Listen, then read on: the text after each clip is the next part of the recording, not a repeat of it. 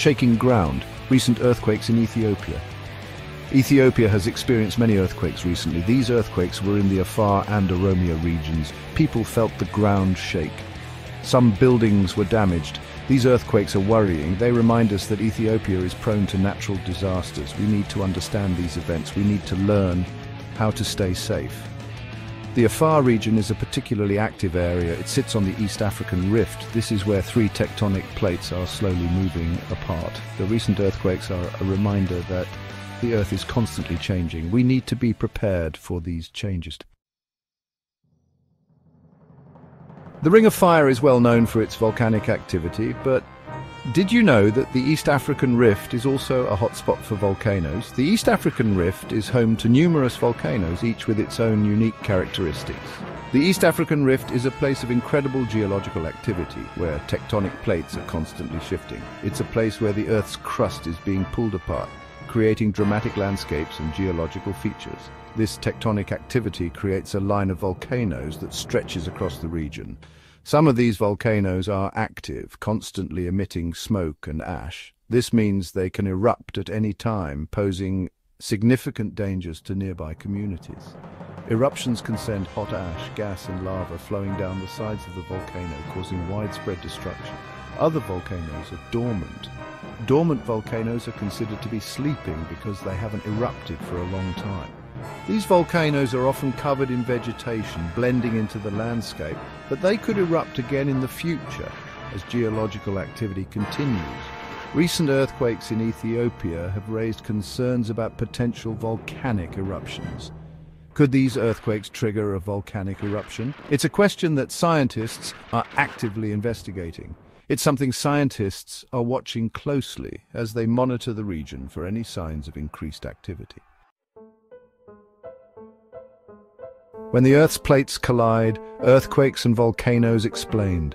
The dynamic nature of our planet is both fascinating and powerful. The Earth's surface is made up of tectonic plates. These massive slabs of rock fit together like a jigsaw puzzle, covering the entire planet. These plates are always moving, very slowly. Over millions of years, their movements shape the continents and ocean floors. Sometimes they push against each other, sometimes they move apart.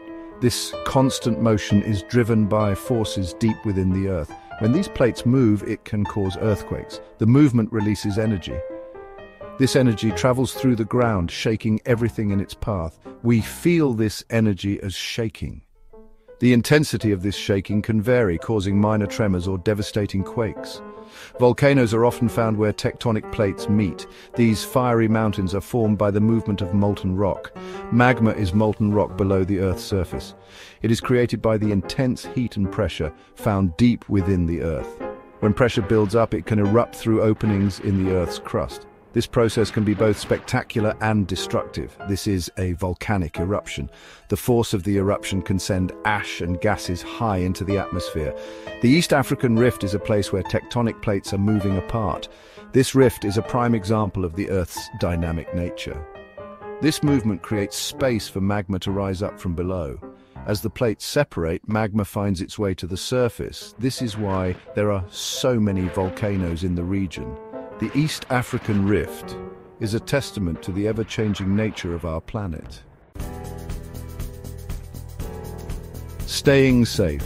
Preparing for natural disasters in Ethiopia. Earthquakes and volcanic eruptions can be scary. These natural disasters can strike without warning, causing widespread damage and panic. But there are things we can do to stay safe.